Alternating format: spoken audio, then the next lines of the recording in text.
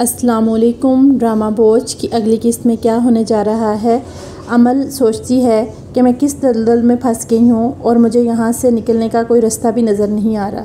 दूसरी तरफ़ आ, स्टोर की जो मालकन दूसरी तरफ़ स्टोर की मालकन जो है वो अमल पर चोरी का इल्ज़ाम लगा देती है। अमल बहुत परेशान होती है।